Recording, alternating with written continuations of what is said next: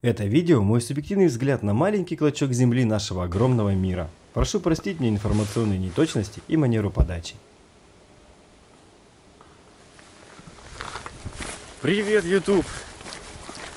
С вами снова клуб интеллектуального туризма и я, Анисимов Дмитрий. Сегодня мы посетим заброшенный старый железнодорожный тоннель длиной чуть больше километра.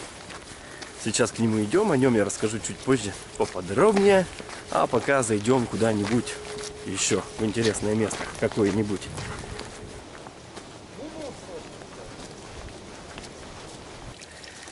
Тоннель находится рядом с деревней Дидина, она почти уже мертва, поэтому здесь есть вот такие вот заброшенные вещи, как, например, водонапорная башня. Кстати, удивительно, что рядом с ней ключик еще расположен. Видимо, ее здесь не просто так строили. О, зайдем вовнутрь. Здесь кто-то уже чуть-чуть ремонтирует. Видно остатки коммуникаций. И видно, что перекрытие восстанавливают. В прошлый раз, когда я здесь был, конечно, здесь никаких перекрытий не было. Вот такая вот вещь. Сейчас нам идти совсем немножко до тоннеля, наверное, километра два. И по нему еще полтора километра, грубо говоря. Пойдем.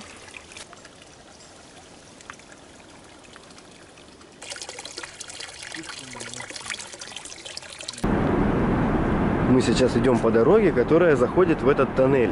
И видно, что раньше это была железная дорога. Видно даже, что раньше здесь были коммуникации, связанные с электричеством, которые мы всегда видим на станциях или на вокзалах. А параллельно дороге и пролегает деревня Дидина, которая вот в таком плачевном, которая в таком плачевном состоянии. Ну, а мы сейчас пойдем по этой дорожке. Она, кстати, идет параллельно Транссибу. И просто железную дорогу немножечко сместили, а вот этот остаток в виде тоннеля и бывшей линии, он остался. Его и будем сегодня смотреть весь день. Видно, что здесь когда-то были даже какие-то, видимо, магазины, ну или что-то подобное. Какие-то остатки инфраструктуры. В общем, вот все, что осталось от старой деревни. И совсем рядышком есть такое капитальное здание. И, похоже, это была станция раньше, которая находилась как раз рядом с ЖД-веткой. Ну, трава-то примята, видно, что здесь кто-то, видимо, все-таки ездит иногда. Ну и остатки дерев... деревни. Хотя вот очевидно, что электричество-то здесь есть, оно явно в нормальном состоянии, в рабочем.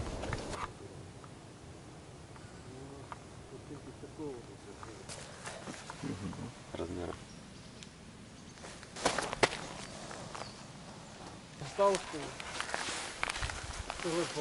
Уже подходим до тоннеля, остается метров, наверное, 50. И здесь мы уже можем наблюдать э, дренажный канал, который тянется на, все, на всем протяжении тоннеля. И здесь он тоже вот так вот устроен. По-моему, даже сверху деревом заложен. Или мне кажется? Да, дерево. Интересно. Вот где-то там впереди нас ждет тоннель.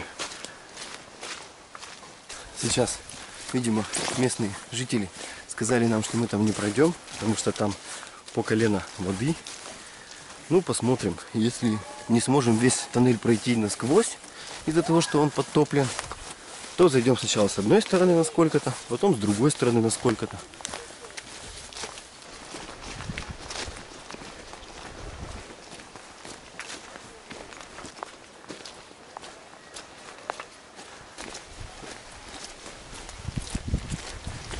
Вот он, дренажный канал, который мы уже видели. И вот, собственно, звезда сегодняшнего выпуска. Дидинский тоннель. Построен в 1918 году и снят с эксплуатации в 1995. Там видно даже, что кто-то гуляет уже. Фонарики светят. И вот если мы отсюда посмотрим, то входа не увидим. А если отойдем в другую сторону, то увидим вход. Это из-за того, что когда его рыли, с двух сторон не сошлись по центру. Ходят даже слухи, что э, человек, который его проектировал, после этого застрелился. После того, как узнал, что не сходится его тоннель. Ну, понятно почему, потому что советская власть и тогда еще и царская Россия, кстати, как раз переломный момент. И его могли очень жестоко за это наказать, за то, что он просчитался. Сейчас мы попробуем через него пройти. Возможно, он подтоплен, и может быть через весь пройти не получится. Тогда мы пройдем сколько сможем, выйдем, обойдем по поверхности и зайдем с другой стороны.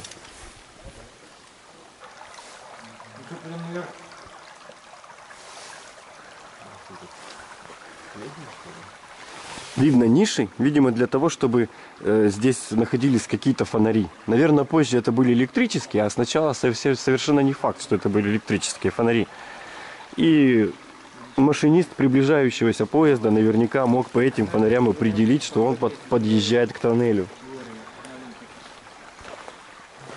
Видно вот э, зачатки электрификации и я думаю, что на самом деле сначала, поначалу тоннель был без электричества. И уже позже его сюда добавили.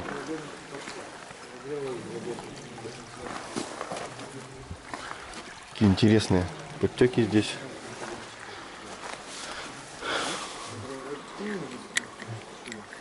Болты, гайки. Ну, понятно, что это стратегический объект, тем более во времена гражданской войны, поэтому наверху он очень хорошо охранялся. Там есть блиндажи, окопы, доты и так далее. Мы должны тоже сейчас все это попытаться найти. Так что сейчас отправимся наверх.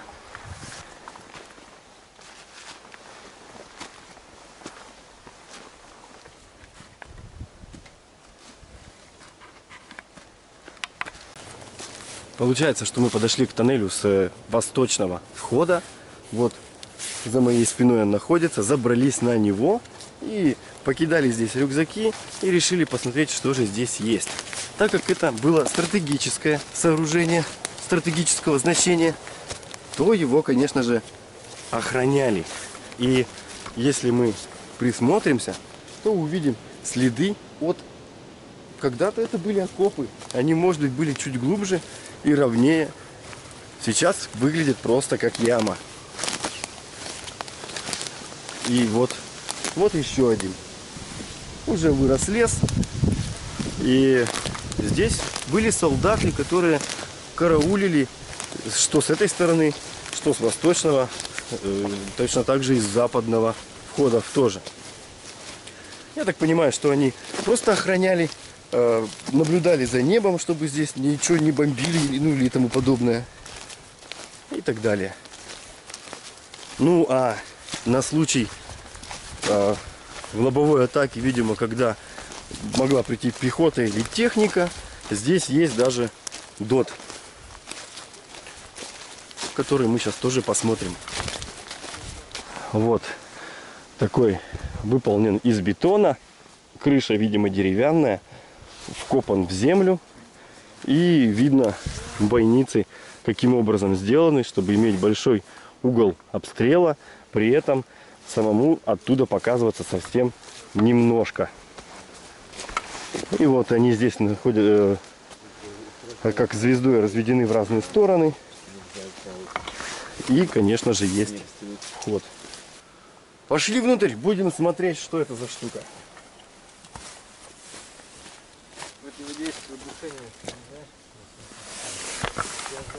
Попахивает здесь, если честно, немножечко гнилью, потому что крыша деревянная, ну, мы видим, что она прохудилась и вот-вот может даже и рухнет. Висит много корней. Сейчас я включу даже, наверное, фонарь. Так вот, интересно, свисают сверху корни. Видно, что вот эта доска вообще прогнила и уже практически отваливается. Ну и, собственно, сами бойницы.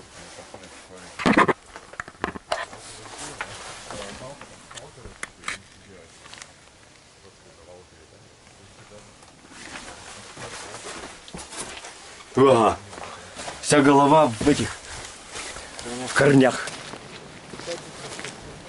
Решили не спускаться, потому что очень скользко, стали обходить и вот нашли еще один, а, еще одну укрепленную позицию.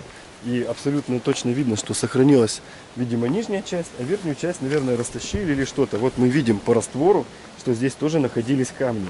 И видно по этому же раствору, что одна бойница здесь все-таки была.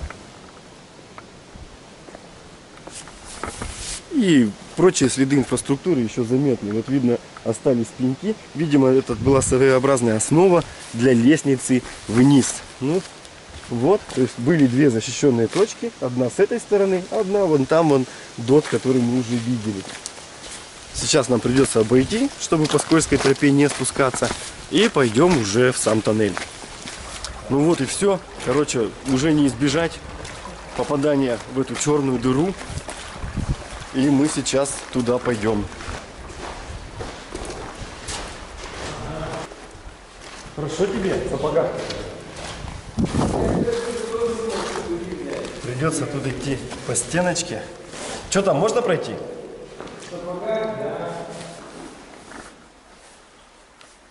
В общем, тут достаточно проблемна эта часть, которая восточная. Она чуть ниже западного входа. И поэтому здесь, сколько я помню, сколько раз я здесь был, всегда здесь была лужа.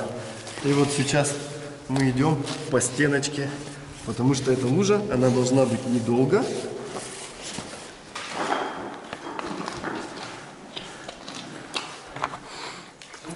Вот один, один из наших ребят оказался в сапогах, и он сейчас нас тут всех по очереди, короче, транспортировал через это море. Вот такой вот огромный тоннель.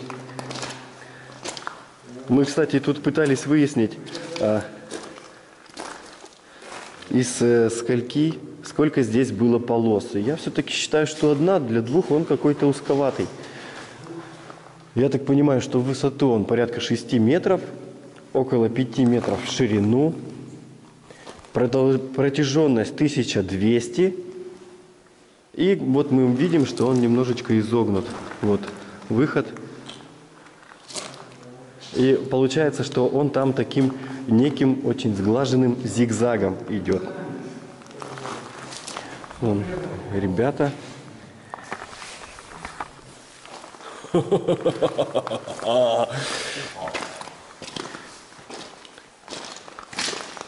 Так, ну что, потихонечку пойдем. А, интересно, что по сути здесь получается два тоннеля. Вот тот тоннель для водоотведения, он э, справа от меня находится, чуть пониже, и э, по нему течет вода. Видим, что он, конечно же, не справляется. И вот здесь вот есть речка, которая течет, видимо, по всему, по всей протяженности тоннеля. И туда, к сожалению, не получится спуститься. Хотя я на самом деле хотел туда сползать. Следы электрификации. Один э, мой знакомый работал машинистом в РЖД. И до 95 -го года он ездил на электричках, на поездах через этот тоннель. Так вот он рассказывал, что даже с учетом того, что их заставляли здесь сбрасывать скорость практически до минимума. Он рассказывал, что можно было ехать и наблюдать, как вот от грохота, от вибрации, от шума сверху падали камни, сыпалась плитка и так далее. Ну и в 95 году тоннель этот решили закрыть. Конечно же, все туристы, а в основном урбан-туристы, быстренько его облюбовали и стали сюда ходить как на экскурсию. Интересно, что здесь вот полно следов автомобильных, и Яндекс карты даже рисует дорогу через этот тоннель. И можно по незнанке, по навигатору, если будешь куда-то ехать, через этот тоннель проехать. Ну вот, сейчас мы через него пройдем, посмотрим, какие здесь есть ответвления, какие здесь есть еще интересности. И выйдем на той стороне, на той стороне уже тоже будем искать доты сверху.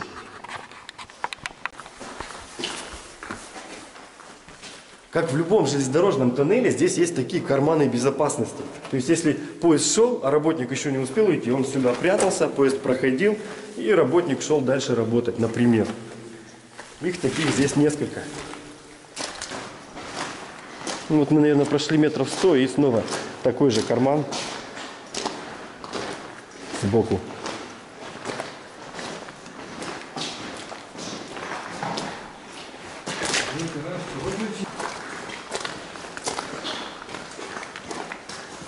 Вот такая здесь осталась шпала с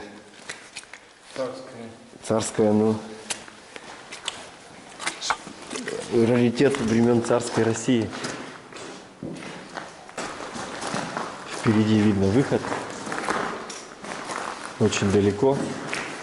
И там даже, по-моему, люди. Да? Впереди люди, смотрите. Снова карман.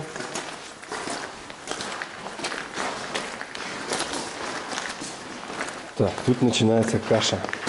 Как ее обойти. Очень холодно, у меня уже уши мерзнут, если честно. Здесь, наверное, около ноля температура, чуть больше. Помнится, э, прошлый раз, когда я здесь был, в каком-то месте он уже осыпался.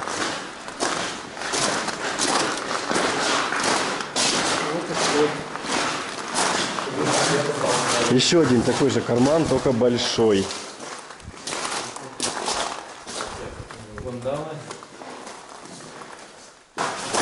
Видно, что мы по мере того, как приближаемся к западному входу или выходу, воды становится все меньше.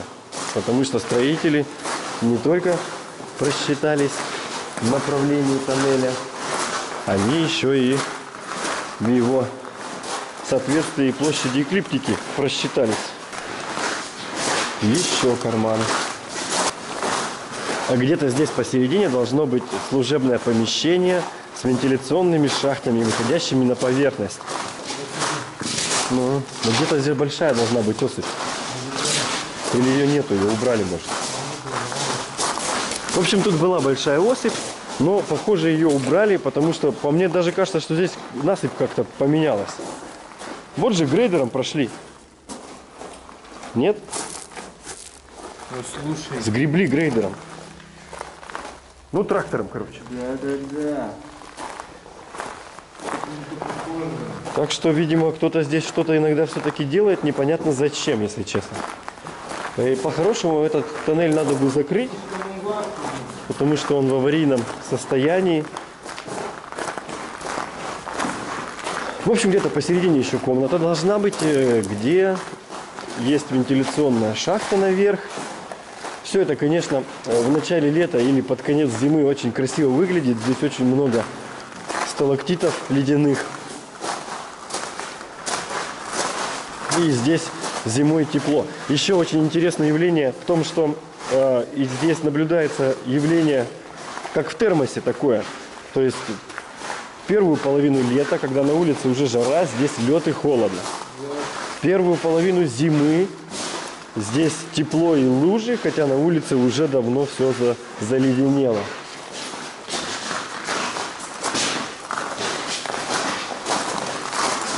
Видно, что его пытались даже ремонтировать когда-то. Вот э, отходит от дренажного канала, который в самом тоннеле, ответвление. И там у нас еще один э, туннельчик маленький, который мы вот видели на подходе к основному тоннелю. Кругом капает вода, журчат ручьи. Вот она осыпь. О, звонко как.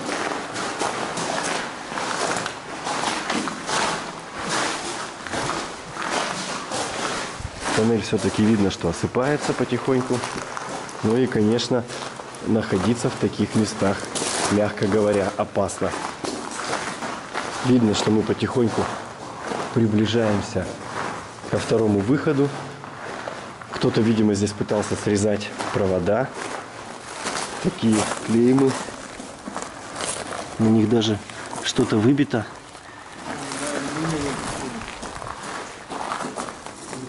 Ну, Скорее всего, стальные, потому что алюминий, что он, он же ковкий.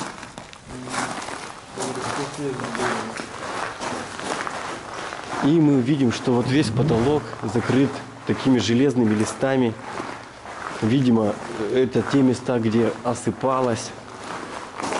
Вот на самом деле прошлые два раза я здесь был в каске, а в этот раз я что-то не подумал и каску-то с собой не взял. Плохо я поступил.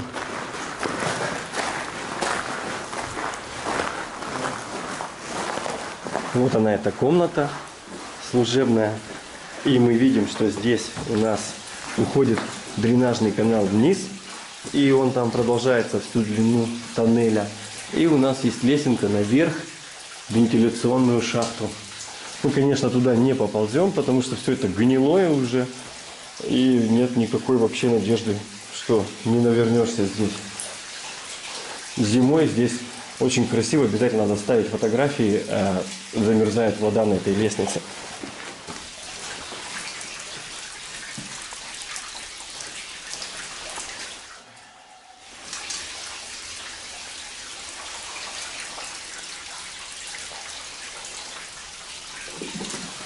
По стене водопад целый. А вот, наверное, сверху как раз и эта вентиляционная шахта, которой доступ через комнату. Да, это точно вентиляция. Вот мы видим, что она уходит вправо, туда же, собственно, комнате. Видимо, там какая-то общая шахта у них.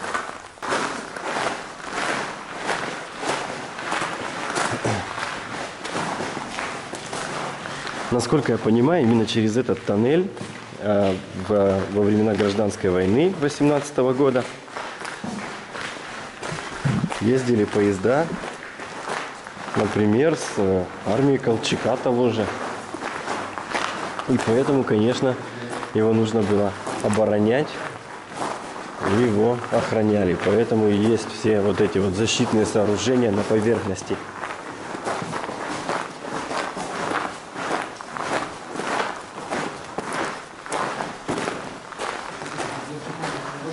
Приближаемся к западному входу. И здесь видно, что здесь уже вообще нет воды. То есть э, мы находимся уже выше, чем тогда, когда заходили.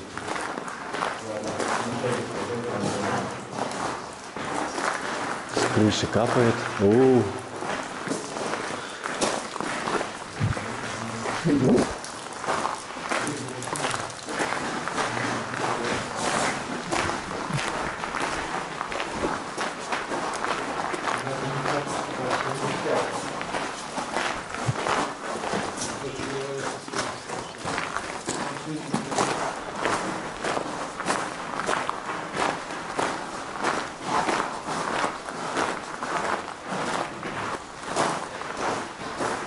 Вот эти вот металлические заплатки, которыми пытались сдержать разрушение тоннеля, видно, что они уже и сами э, держатся, скажем так, на соплях.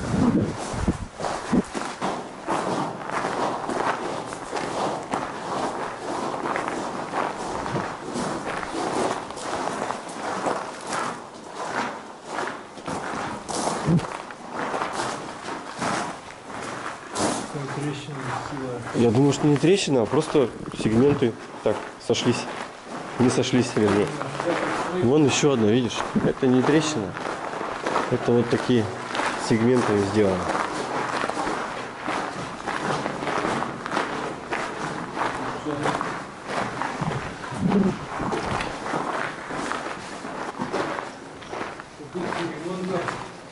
Какой-то вот кусок даже видно, что, видимо, бетон использовали, да? Да-да-да. Недавно Видно, что была деревянная палубка просто из досок и строили, используя бетон.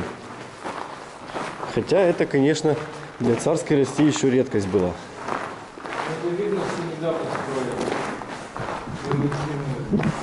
Может быть, да, пытались. А, ну, возможно, да, его просто пытались отремонтировать таким способом. Укрепить стен, стенки. Просто строили опалубку и заливали все это цементом, бетоном.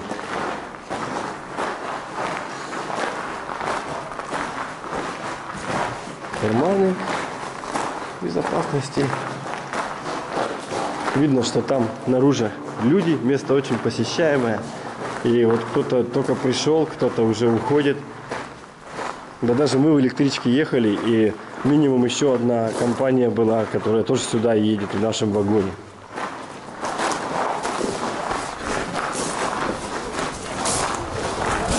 Все, уже подходим к выходу. Вот такой вот.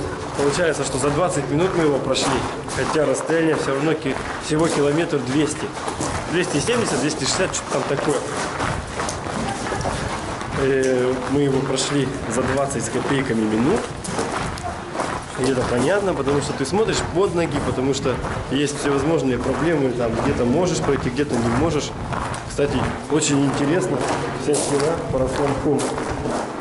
Прям зеленая.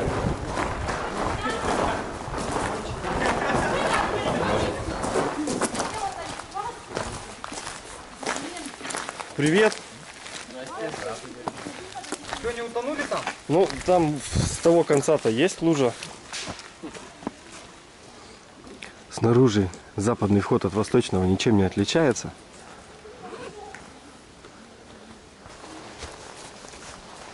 Интересно, зачем нужен такой вот э, масси- массивная такая арка входная вот эта? Э, просто, просто чтобы было? Или в этом есть какая-то цель?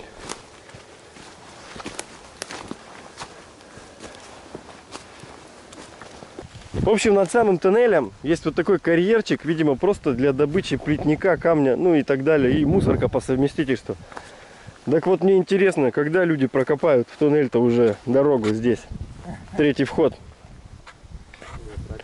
Ну, а то, что там капает э, э, с потолка в тоннеле, это понятно. Вот здесь прямо над ним болото находится, где камыш даже растет. Вся эта вода вниз-то и уходит.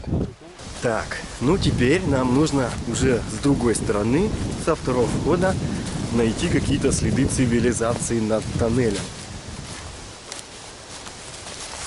И вот долго искать не пришлось. Вот мы видим явные следы деятельности человека. А вот и очень классная штука. То есть э, такие доты, они, видимо, с обоих сторон, с обеих сторон, и с первой, со второй.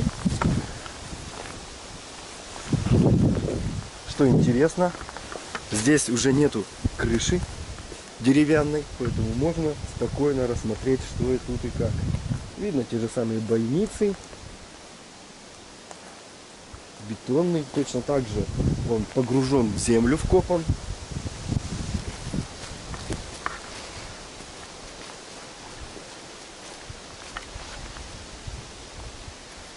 Интересное сооружение.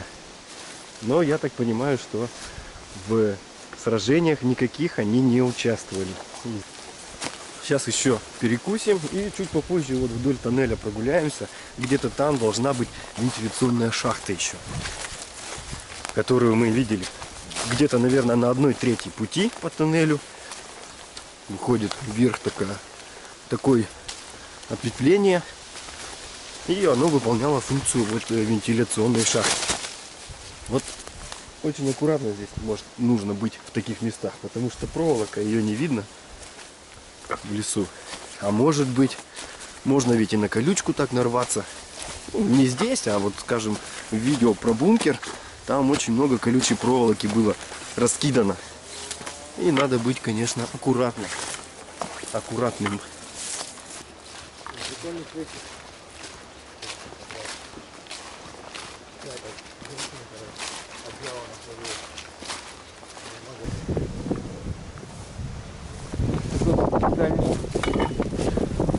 он, наверное, помладше. Это. Что это, я не знаю, но оно помладше.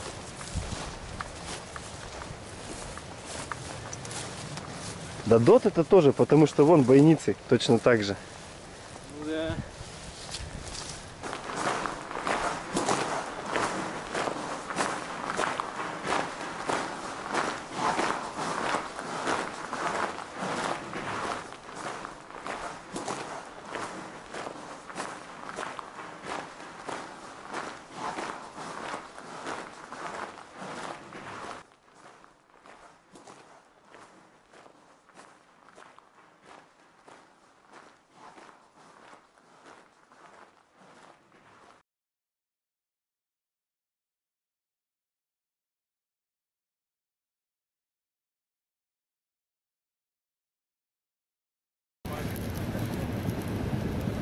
Вот посмотрите, как поступает плохой турист, и никогда так не делайте.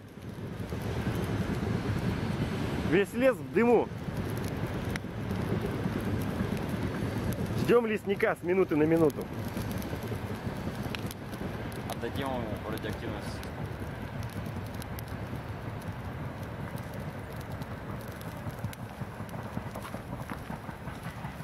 Да. Ужас.